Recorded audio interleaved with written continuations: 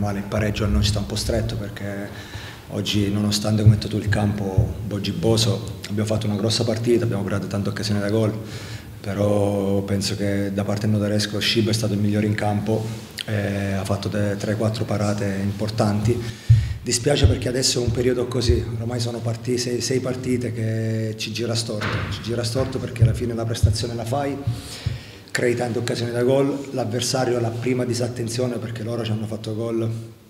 una, su una palla in uscita, su una palla in uscita sono stati bravi con Pampano a fare gol, poi come hai detto tu siamo stati subito cattivi a reagire subito, a pareggiare con Bosco, però normale ci è mancata quella cattiveria, quella lucidità sotto porta perché oggi, anche oggi abbiamo avuto quelle tre occasioni nitide davanti al portiere, uno contro uno.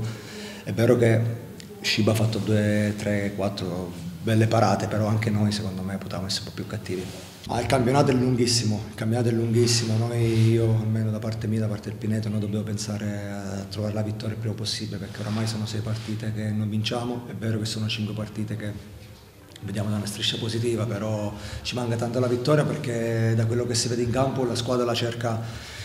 per tutti i 90 minuti, è determinata, è cattiva, c'è la squadra, c'è la prestazione viene fatta da una squadra e dispiace perché adesso ultimamente sotto porta siamo poco cattivi e anche poco fortunati. Innanzitutto è un peccato oggi che questa partita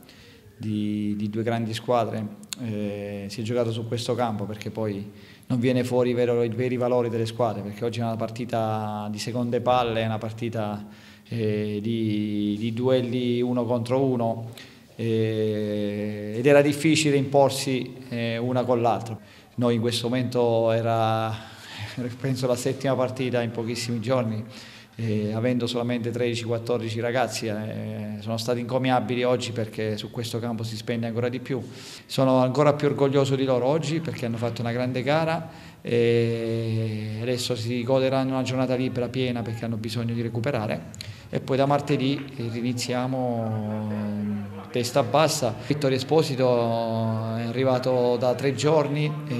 l'ultimo mese si è allenato poco, oggi è entrato su un campo che non sono consone alle sue caratteristiche, però quando prende la palla vediamo subito che è un giocatore importantissimo e quindi andiamo avanti, adesso bisogna lavorare, pensare alla prossima partita e cercare di, di vincerla.